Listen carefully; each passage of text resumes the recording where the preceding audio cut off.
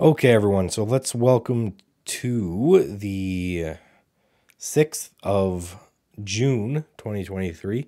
I'm still recovering from this sickness, so I don't even know what day it is, but I am getting better. So we're going to hammer through this and uh, and push forward. Um, so again, if you want more of this content, if you want this video emailed to you daily, um, and you want all of the accompanying charts, you can take a look at them and go through them yourself. Sign up for my email list on my website, statsedgetrading.com, and also it's that uh, QR code right there. You can just point your phone at it and scan it. Um, nothing to, you know, it's free. There's, I, mean, I don't give the lists out to anyone or anything like that. Um, if you're also interested in taking a look at my uh, trading tools, any of the trading tools I have here, that's also on my website that you can check out there. Um, those are affiliate links, so they support me. Again, if you're looking for a charting platform or a scanner or something like that, uh, check them out there for sure. I don't put anything on there that I don't actually use myself, so you can you can know that there is some endorsement going on there as well. So without further ado, let's get into it here with Bitcoin. And with Bitcoin, we basically had a breakdown.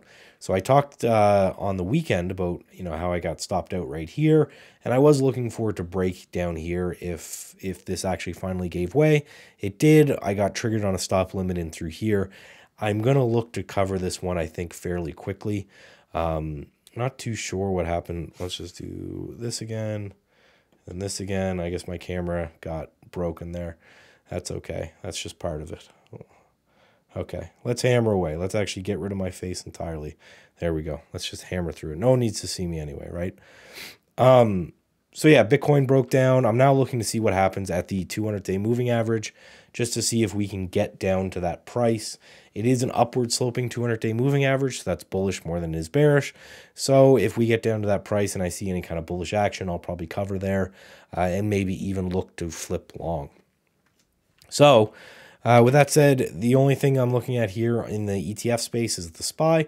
SPY is actually just kind of chopping sideways here, which is what you want to uh, expect. I have better drawings over on trade ideas here, which is my scanning tool. This is how I find all the names uh, that I present to you guys. But yeah, we have uh, 120 bucks a share. That's kind of the area that's super important for this one. Holding that very nicely, just a little dinky kind of inside day.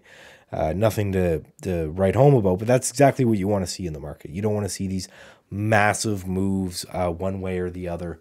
Um, you know, you just want to see a kind of a consolidation, uh, a slight pullback, something like that, that kind of proves that there are buyers waiting at lower prices, right? Big institutions don't chase trends up.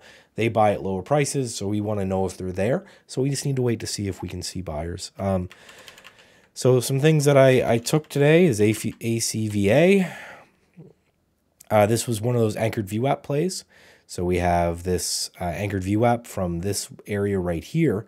Um, you can see kind of push back up. It comes back, it pulls into it. I don't think I drew that right. Let's try that again. I'm going to draw it on that candle.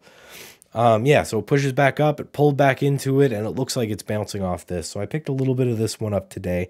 I didn't really add anything to the list because nothing really kind of struck uh, huge to me, but I will go over some things that I think that were on the list that may be setting up. So this IDCC massive push after uh, earnings and a kind of a news event, and now it's just having this sideways consolidation.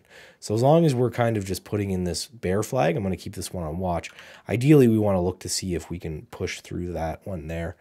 Um, so on OTEX, we had a breakout here. This one's a nice strong um, uh, strong stock. Again, big push after earnings, strong close on that one. So I took some of that as well. And then I took some Wingstop. So Wingstop, I've been basically playing around this $200 area that has been resistance back here. And then you can see support along all through here. Then we had this engulfing day, right? So we had this little red day yesterday gap down, rallied all day long, closed really, really strong. So I think that may have been the kind of signal that we had that pushed us off that level. So my hope is that's right, and we can continue to go from there. So my camera's still frozen, but if you want to scan the code, I'll leave that up for a second. Thank you very much. I will talk to you guys later.